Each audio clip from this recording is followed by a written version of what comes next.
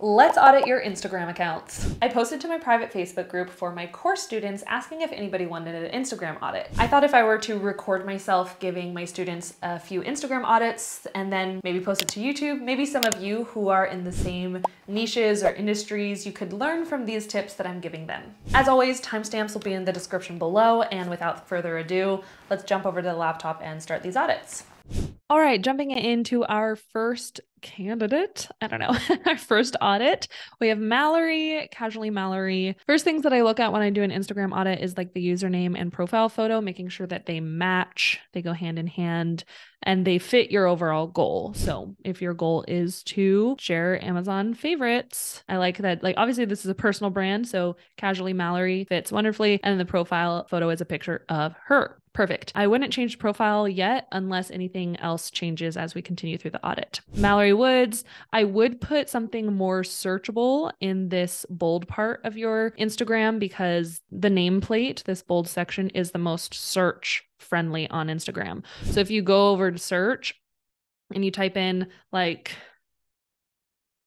tattoo artist, anyone who has tattoo artist in their nameplate will pop up in the search results. So that's something to keep in mind is how do you want to be discovered? What is your target audience looking for? Are they looking up Amazon finds or Amazon favorites? If they are, put that in your nameplate as well. So if that means you need to remove your last name and it's just Mallory line Amazon finds, that's perfect. Now jumping into your bio. So your bio, sharing my favorite Amazon finds, love it fashion, beauty, lifestyle, email for contact, and then Amazon storefront, YouTube, and TikTok. Overall, this is a good bio. I would make a few changes. So, the first thing that I love is the call to action, telling people exactly where to find your Amazon storefront of your favorites and other platforms. So, you have a really good call to action. The one thing that I would potentially explore for the first sentence is talking about who your content is for and the type of products that you like on Amazon. Do you talk about vacuums? Are you talking about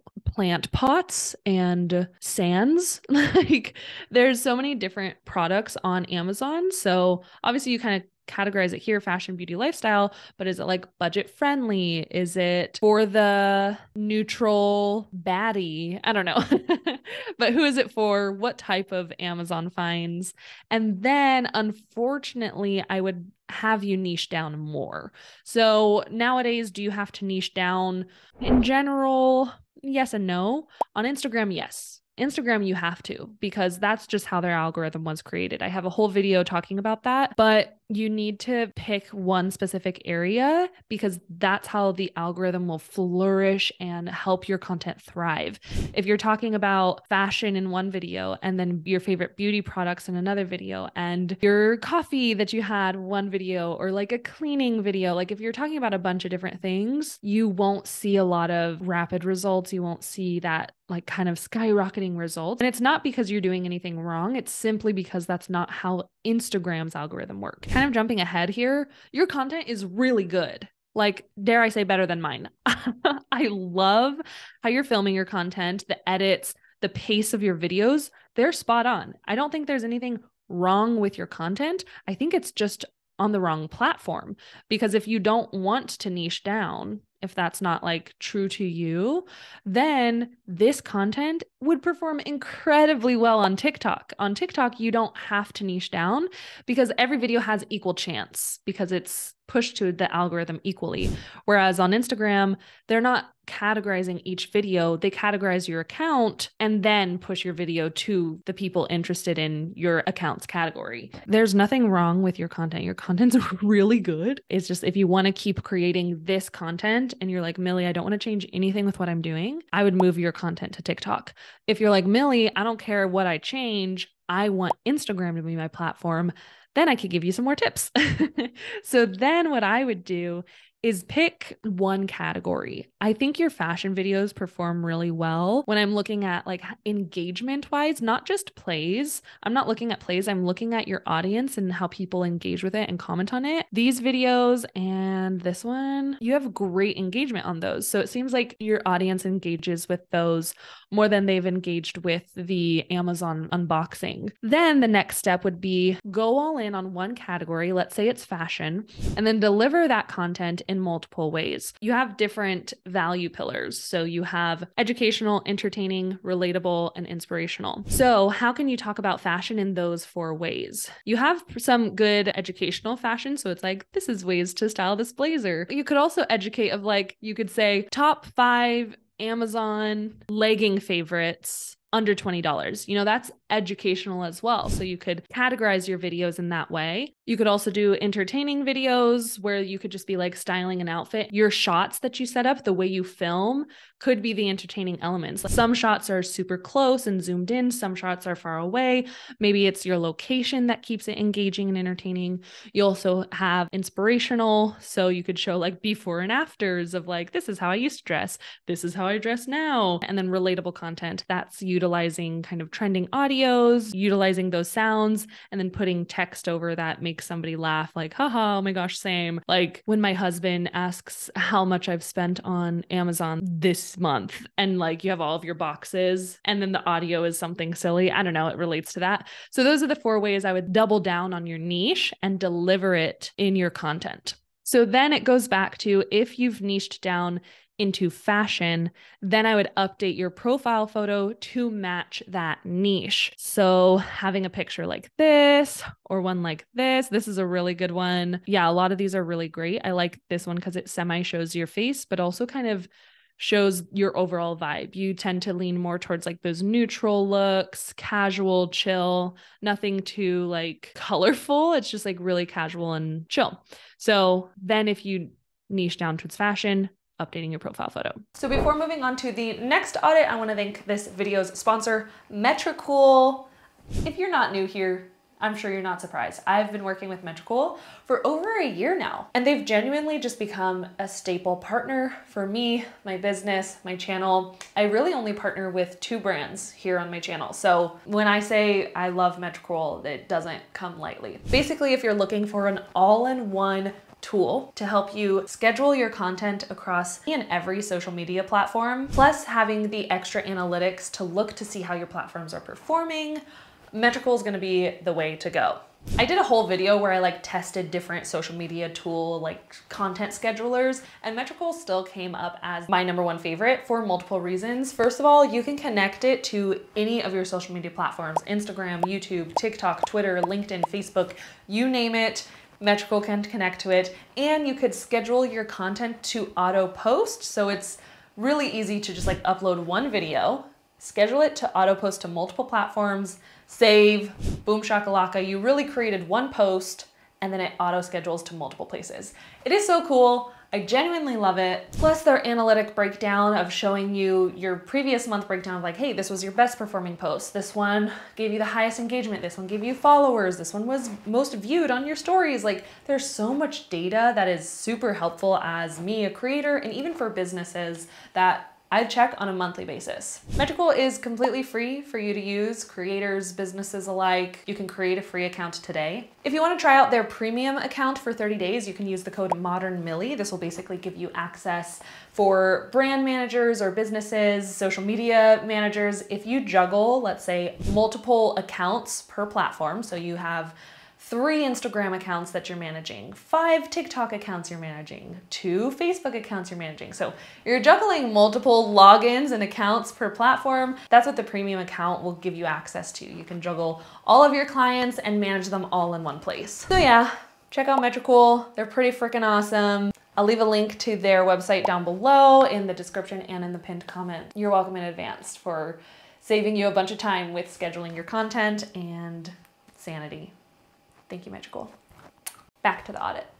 All right, jumping over to my friend Kaylin. Hi, Kaylin. So let's start this audit. First things I look at, granted by Kaylin, and profile photo. This photo's a vibe, first of all. I feel like this would be like a cover of an album, but I don't know if it fully represents you and the mission and passion that you're trying to share with your profile. So, mental health creator, I inspire people of color to elevate their healing journey through self love and wellness. I would love to see like a picture of you making eye contact with the camera, smiling. I'm trying to see if you have like already a picture uploaded. Like something like this. I like the green in the background. It's really well lit, like that natural light on your face. Your eyes are just like sparkling, your smile is contagious. I feel like you want to exude and you're like, yeah, that's the Kaylin that I want people to like relate to. Of course, there's also the reality of like, okay, mental health journey is a struggle and tough, but you're inspiring people. And so spreading joy and positivity is part of that. And I, I think having a picture that connects the viewer with your eyes and having that eye contact, smiling would be wonderful. Mental health creator, love that your nameplate is searchable. Inspired, da da da da. Yes. And then a call to action. Support the content here. Let's just take a peek at your link in bio. Support content with donation. That's so great. Oh, that's cool. My website, with me for branding and social media. Follow me on TikTok. Perfect. Perfect. Love that. That's so cool. Man, I forget how cool Direct Me is. okay, love your bio. Everything looks good here. Moving to your highlights, one thing that I would potentially add is your story. I would love to see a highlight that says my story. Maybe that's what imperfect me is. I actually did not watch this one and I just realized it could be what I'm about to say. So ignore this advice if you're like Millie, it's literally there. But I'd love to see like an about me of like why this is something you're passionate about. Why is this important to you? A little bit of your background and your story and what got you here and why that page is so important to you and what you want to inspire other people to do. So maybe adding that highlight section. Okay, now when it comes to pinned posts, I think these two are pretty good pinned posts. I'm not sure about this one as a pinned post. So, pinned posts, they have the most long term real estate on your profile photo. And so, you want those to be like the biggest character definitions of you, the biggest call to actions that you have. Maybe it summarizes who you are and your what your whole page is about because those are people's first impression. I feel like if you were to have a pinned photo, it would probably be like similar to this, a carousel of photos but I'd love to see the first one of you like smiling at the camera. And then maybe the caption is more about who you are, your background, kind of summarizing what like your about me would be on a website or in your highlight section. So when people, the first thing that they see is picture of you who you are, your mental health journey. And so it's kind of like a summary of you. So that's why I don't think this one fits that quite yet. I'm not hearing a lot about you. There's no call to action. It's a good photo, but it's not what I would use as a pinned post. These two are really good summaries of who you are and what your page is about, especially this one. This is just like the perfect epitome of Kaylin, his profile, his content, what somebody can expect by pressing that follow button. And I, I love this video. Everything about this video I love it. So this is definitely pin post worthy. And then this one is definitely a popular video of yours. And yeah, could be also a pinned post, but this one is like 100% yes. All right, let's give some content tips. So, something I'd like you to start practicing or trying to do is how to repurpose your content within Instagram. So, let me explain. You have this video, for example, natural remedies that help with anxiety. And then you have aromatherapy. This includes candles, oils, la da da da. So, this video you can actually turn into a caption that goes with a photo. So maybe trying to caption some of your future photos with content you've already created, giving those tips. So maybe your next carousel or your next photo would be that natural remedies for anxiety. So I think that's something that'll help you and like, I don't know, what I don't like your sanity, but that's something that helps me is like, if you have these great videos that are like three steps to do this, natural remedies for this, how to identify this like you have so much great educational videos 10 signs that you're healing and growing, benefits of yoga. All of those can be repurposed into captions and even carousel. So you can go to Canva, you can look at templates. I'm going to type Instagram carousel. And there's a bunch of templates. So you just plug in your brand colors and then plug in your tips. And this is another great way to repurpose it. So you can repurpose it as a caption, you can repurpose it as a graphic. And just test to see what captures your audience's attention and what they engage with the most. Obviously, reels will reach new people and will probably get the best results, but it's a great way to like work smarter, not harder. When it comes to your content, I've noticed that your videos, like this video performed really well, this one performed well, and they always like they they're so in alignment with your passion and what you want. Like this one captures attention right away. It says how you can help a black man heal, and I know that's like huge part of your passion. And you also have this one 10 signs that you're healing and growing. That first shot, this first shot is brilliant. I love it. I love that first shot. It's so cool with like the drink in the foreground and then you in the background and your smile. It's just like such an intriguing shot that you got. So you could even like that clip you could use that as an intro to other videos too. So maybe you repurpose that clip as an intro to test to see if that performs well. And instead of 10 signs you're healing and growing, you say how you can help a black man heal. I can't think of any other like attention grabbing things, but just playing around with like, oh, you have this clip here that worked really well to capture attention. What else can you teach with that clip? Or like, what else can you share? Just a little idea there. And then finally, I'd love to see you go in a little bit more on like either focusing some of your hooks for people of color or even for men. So this one, it kind of touched both of those. You said how to help a black man heal. So it talks about people of color and men. So maybe for benefits of yoga that can help you heal, maybe you talk about benefits of doing yoga as a man because we don't really see a lot of men doing yoga or we don't really see a lot of men doing like self-care and like hey I did aromatherapy today you know? Like that's a really unique perspective that you have that not a lot of people do have. So when you're making these videos of like three ways you can use aromatherapy using some of those other hooks to really capture your specific target audience's attention could be really beneficial. All right this video is already a little bit longer than what I thought so I think we're just going to do three audits and then I'll I'll do another video to continue on with this series. So, the Foodie Flex with Donna. Donna, love, love, love, love, love what you have going on so far. Also, that's my mom's name. Funny. Foodie Flex. Again, I'm looking at username, profile photo. It matches perfectly. As you could tell, you're in the food niche. Profile photo communicates that you're in the food niche. So it's perfect. We look at the nameplate, food blogger and digital creator. That's super search friendly, not just for your target audience, but also for potential brands. So that's a good two in one. Then you have home cook, comfort food, foodie reviews, email collabs, your location, and then a link. So the only thing that I would change here is communicating the value that you provide and basically telling somebody this is why you should follow me. This is what you will gain when you press the follow button. So instead of saying like home cook, comfort foods, foodie reviews, I would say something like inspiration for the everyday home cook so that you could create comfort foods and staple recipes, you know, staple household recipes. I don't know, something that's going to tell your audience this is the value that I provide, this is the content I create, and this is how you will benefit when you press the follow button. So what are they gaining?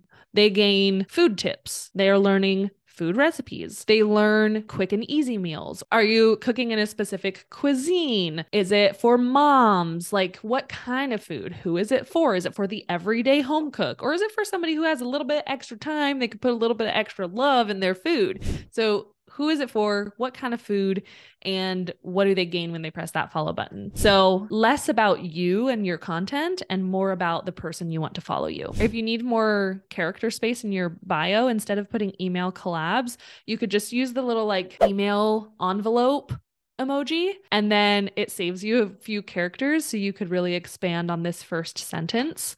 And then I would add a call to action of like what this is. So, like, check out my TikTok or follow me here. It would be really cool, hear me out, if you offered some sort of freebie or like a maybe what's your most popular recipe. If you could give somebody that recipe for free with all of the ingredients listed out, you make it in Canva food recipe. There we go. Boom shakalaka. You have like so many templates like that. That's really cool. So maybe just like make two or three pages of this and do like your top two to three recipes put that as a PDF or download that as a PDF and give it away for free. Like, download my top three recipes here. That would be a really cool one to start collecting emails. This video is a perfect example of a pinned post because it introduces you, it introduces what you do. It's just a really, really great pinned post to introduce people who you are and what your brand is about. So, Definitely love that as a pinned post. Now, for content tips, I have just two tips that I'd love for you to play around with. The first tip, you do this in most of your videos, but starting with text and not just starting with text, but like hook bait text. Like this one does this really well. So it's like jalapenos and onions, grilled cheese, pitayas. Like you know exactly what you're getting from watching this video. So this is a great hook text, but like this one does not have any hook text. And sometimes, or actually most times, when somebody is scrolling on their main feed and come across a reel, most of the time it's muted. So you want to think, how can you communicate to your audience in this video if they're listening to it on mute? So maybe while you're editing or you have your team editing, whoever does your editing, watch the video one time through on mute to see like can somebody gain equal value from watching this through without audio? So that's one thing that I would like to challenge you on. And the second one is showing your face in the beginning. So in the beginning, you have like, hey, this is how I made this, or like, hey guys, here's how I make, yeah. So you have, hey, this is how I make this. And you have like the final shot or the final product. It's always great to start with that final product look. But I think something that will help with the conversions even more is having that human element. And I know not a lot of people love to show their face on social media. This is why I said this is something to just play around with, test it. So you have the final thing. You don't even got to say anything. You just like scoop and take a bite, or like you point to it, hold it up to the camera, or you start with it at the camera, move it back, point, you know, like doing something like that. And then you have your voiceover with the text explaining what it is that I think will go a really long way. Alrighty, if you've made it this far and you're not already subscribed to my channel, literally check, go check. Are you are you subscribed? Are you watching this? Are you subscribed? If you're not, hug the subscribe button and turn on that bell notification so you don't miss when I post my next video. And I'll see you in the next one. Follow your joy. Bye.